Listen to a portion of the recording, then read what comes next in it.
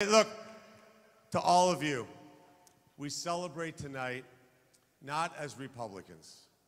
We celebrate tonight as Americans. And, and if there's, if there's, and to the people out there in Ohio who didn't vote for me, just know that I will always advocate for you. I will always have your back, and I will work for the next six years to win you over.